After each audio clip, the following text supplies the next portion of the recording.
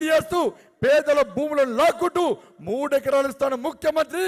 ఇలా పేదల దగ్గర ఉన్న స్థలాలను లాక్కుంటూ వాళ్ళ ధరణి అనే ఒక ముదనష్టపు వ్యవస్థ పేరుతో పేదలను హరిగోస పెడుతున్నటువంటి ప్రభుత్వం టిఆర్ఎస్ పార్టీ ప్రభుత్వం భూమి మాఫియా ఇసుక mafia granite mafia drugs mafia mines mafia అనేక మాఫియాలకు అడ్డగా మార్చి తెలంగాణ రాష్ట్ర ప్రజల పరువు తీస్తున్న ప్రభుత్వం టిఆర్ఎస్ పార్టీ ప్రభుత్వం.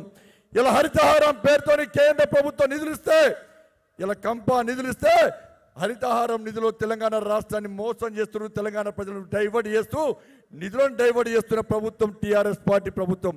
ఎక్కడ చూసినా స్కామ్సే ఎక్కడ చూసినా వినితే కుటుంబ పాలన మనం చూస్తామన్న శ్రీలంకలో ఈ తెలంగాణ రాష్ట్రంలో కేవలం కేసీఆర్ కేసీఆర్ కుటుంబమే రాజ్యం వెళ్తున్నది.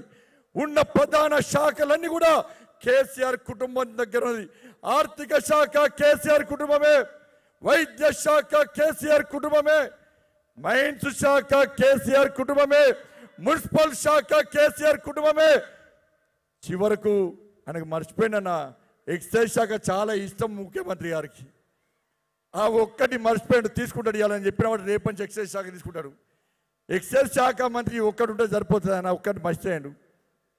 శ్రీలంకలో ఇదే జరిగిందన్నా. శ్రీకల్ శ్రీలంకలో ఆ ప్రభుత్వం చిప్ప చేతికిచ్చిందని ప్రజలకు. ఒకే కుటుంబం రాజ్యం వెళ్తే శ్రీలంక పరిస్థితి ఎట్లుందో ఒక్కసారి ఉంచండి ఈ తెలంగాణ రాష్ట్రంలో కూడా అదే పరిస్థితి అన్న. ఒక్కొక్కరి పేరు మీద లక్ష రూపాయల అప్పు వేసిండన్న ఈ రాష్ట్ర ముఖ్యమంత్రి. ఈ రోజు వరకు జీతాలు లేవు. ప్రభుత్వ ఉద్యోగులకు జీతాలు లేవు. పెన్షన్లు లేవు.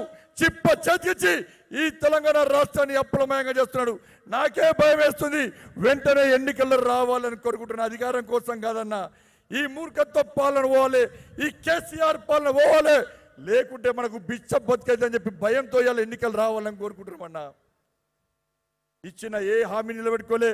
పాలమూరు గడ్డ మీద నాకే బాధ అనిపిస్తుంది అన్న. పాలమూరు ఎడారి అనుకున్నాం.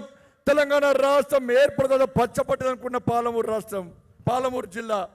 ఇలా పాలమూరు జిల్లా తిరుగుతుంటే ఆలంపూర్లో స్టార్ట్ చేసి ఇలా రంగారెడ్డి జిల్లా వచ్చేవారు కూడా సమస్యలతో తల్లడిల్లుతున్నారు. ఎక్కడ వేనా సమస్యలే ఎక్కడ వేనా ఎడారే. ఆ ఎడారిలో ఎట్లా బతుకుతురో ఇప్పటికి అర్థమవుతలేన పాలమూరు ప్రజలు ప్రేమ అభిమానం గల ప్రజలనా? ఆ ప్రేమ అభిమానమే పాలమూరు ప్రజల కుంభం ముంచిందన్న. ఏ రా గతంలో కాంగ్రెస్ పాలకులు కానీ ఇప్పుడు టీఆర్ఎస్ పాలకులు కానీ కనీసం వాళ్ళని పట్టించుకున్న పాపన్న పోకడంలో పాలమూరు ఎడారిగా మారిందన్న. ఆర్డిఎస్ సమస్యతో ఇబ్బంది ఆర్డిఎస్ ఆధునీకరించబోవడం వల్ల ఆర్డిఎస్ సమస్యతో ఇబ్బంది పడ్డారు. జీవో సిక్స్టీ నైన్ వల్ల ఇబ్బంది పడ్డారు. జీవో సిక్స్టీ నైన్ అమలు చేయకపోవడం వల్ల ఇలా అక్కడ జిల్లా ప్రజలు ఇబ్బంది పడ్డారు. నేను పోయినప్పుడు నేను పోయినప్పుడు హామీ చేసిన పాలమూరుకు భారతీయ జనతా పార్టీకి అవకాశం ఇవ్వండి. ఈ పాలమూరు గడ్డ ప్రజలు మమ్మల్ని ఆశీర్వదించండి. ఆర్డిఎస్ను ఆధునీకరించి ఆర్డిఎస్ను ఆధునీకరించి ఈ అలంపూర్ నియోజకవర్గాన్ని సస్యశ్యామలం చేసే బాధ్యతను భారతీయ జనతా పార్టీ తీసుకుంటని చెప్పి పాలమూరు గడ్డ మీద హామీ ఇస్తే ఆలంపూర్ ప్రజలందరూ కూడా సంతోషపడ్డారన్న. ఇప్పటికైనా విజ్ఞప్తి చేస్తున్న రాష్ట్ర ముఖ్యమంత్రిని సహకరించు సహకరించు. పాలమూరు ప్రజల పాపం వట్టి అనబోదు రాష్ట్ర ముఖ్యమంత్రి. ఎన్నికలప్పుడు హామీ ఇచ్చినావు కుర్చేసుకొని కూర్చుంటానావు ఆర్డిఎస్ను అధికరిస్తాను ఆర్డిఎస్ ద్వారా నీళ్ళిస్తాను నువ్వు ఇయ్యలే నీ చాతగాని దద్దమవును. మేం చేస్తాం మేం చేస్తాం. మా నరేంద్ర మోడీ ప్రభుత్వం చేసిందన్నా. మోడీ గారు హామీ ఇచ్చిరన్నా. ఏ బండి సంజయ్ నువ్వు హెచ్చరించు రాష్ట్ర ముఖ్యమంత్రిని. రాష్ట్ర ముఖ్యమంత్రికి చేత కాకుంటే ఆర్డిఎస్ వదిలీకరించి ఆర్డిఎస్ ద్వారా అలంపూర్ నియోజకవర్గానికి గద్వాల్లో కొంత ప్రాంతానికి నీళ్ళనిచ్చే బాధ్యతను భారతీయ జనతా పార్టీ తీసుకుంటుంది. సిక్స్టీ నైన్ జీవోను అప్పటి ప్రభుత్వం అమలు చేస్తే సిక్స్టీ నైన్ జీవోని తీసుకొచ్చి పద్నాలుగు వందల కోట్ల రూపాయలను ఇలా అప్పటి ప్రభుత్వం కేటాయిస్తే కొడంగల్ నారాయణపేట్ మక్తల్లోని ఎత్తిపోతల పథకానికి పద్నాలుగు వందల కోట్ల రూపాయలు కేటాయిస్తే రాష్ట్ర ముఖ్యమంత్రికి మనసులవట్లే పద్నాలుగు వందల కోట్ల కమిషన్ రాజుకు ముఖ్యమంత్రికి ఎత్తిపోచుడే ముఖ్యం. ముఖ్యమంత్రి ఎత్తిపోచుడే. అందుకే ముఖ్యమంత్రికి ఎత్తిపోతల పథకం చాలా ఇష్టం అన్న ముఖ్యమంత్రికి. ఏదో అన్నారు అప్పట్లో. పేరుకు పెత్తనం ఇస్తే నెత్తంత కొరికిందట. రాష్ట్ర ముఖ్యమంత్రి ముఖ్యమంత్రి కుటుంబానికి పెత్తనం ఇస్తే ఇలా డెబ్బై వేల కోట్ల ప్రాజెక్ట్ అని చెప్పి పాలమూరు రంగారెడ్డిని ప్రారంభిస్తామని చెప్పి కనీసం పది శాతం కూడా ఇలా పనులు ప్రారంభించ కూడా లూటీ చేస్తున్న ముఖ్యమంత్రి ఈ రాష్ట్ర ముఖ్యమంత్రి అన్న. రెండు వేల పద్దెనిమిదిలో రాష్ట్ర ముఖ్యమంత్రి హామీ ఇచ్చిండు. ఒక్కొక్క నియోజకవర్గంలో లక్ష ఎకరాలకు సాగునీరు అందిస్తా అని చెప్పి ఈ ముఖ్యమంత్రి మాటిచ్చుడు.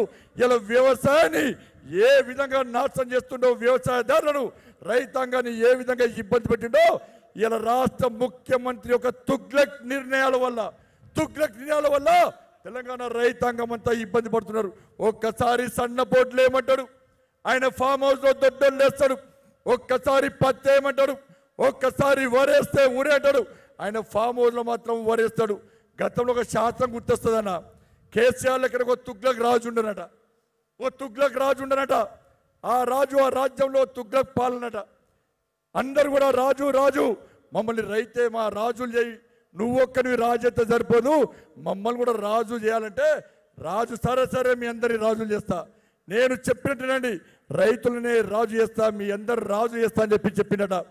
రేపటి నుంచి ఒక సర్కులర్ ఇష్యూ వేసిందట ఒక రి- అర్హత పూర్వక సర్కులర్ చేసినట. రేపటి నుంచి నా రాజ్యంలో రేపటి నుంచి నా రాజ్యంలో మీకు ఇబ్బంది ఉండవు. ఇప్పటి నుంచి పండించే పంటలో పండించే పంటలో మీరు నాకు పన్నులు కట్టాల్సిన అవసరం లేదు.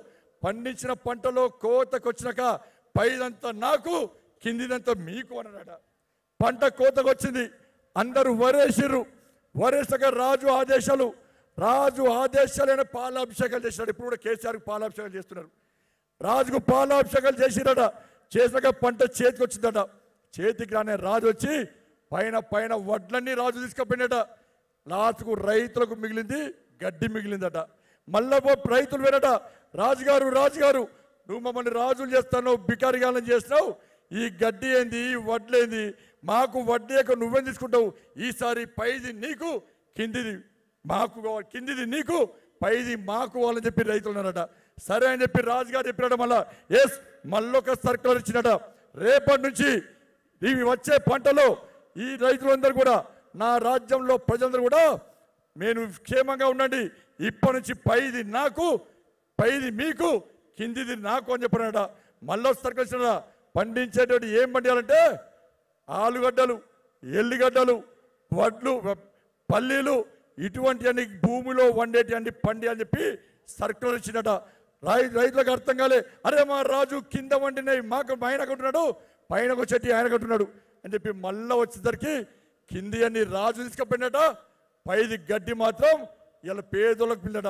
ఇటువంటి తుగ్లక్ నిర్ణయాలతో ఆ రోజు తుగ్లక్ నిర్ణయాలు ఏ విధంగా తీసుకున్నాడో ఈ రోజు రాష్ట్ర ముఖ్యమంత్రి కూడా తుగ్లక్ నిర్ణయాలతో ఈ తెలంగాణ రైతాంగాన్ని ఇబ్బంది పడుతున్న విషయాన్ని ఒక్కసారి గుర్తుంచుకోండి. ఎక్కడ చూసినా సమస్యలన్నా బాధ అనిపిస్తుందన్నా. ఇలా ప్రజా సంగ్రామ యాత్ర వేస్తుంటే పేదోళ్ళు ఏడ్చిరన్నా బాధపడ్డారన్నా. నాకు